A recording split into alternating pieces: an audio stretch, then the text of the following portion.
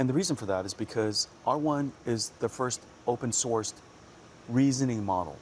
What makes R1 incredible is that it reasons. That's why the answer is so good.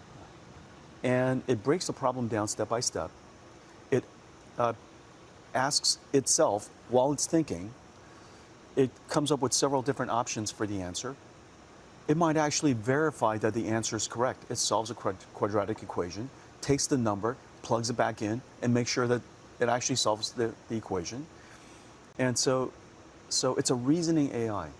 This reasoning AI consumes a hundred times more compute than a non-reasoning AI. And that's you. It was exactly the opposite. It was the exact opposite conclusion that everybody had. And- it actually consumes a hundred times more computing. Well, it, it's it, it's kind of amazing because that the uh, people are threatened by quantum. Quantum may use a thousand times more compute. Well, we're going to have to go help all the quantum computer companies, and this is going to be the first conference at GTC where we have a quantum day.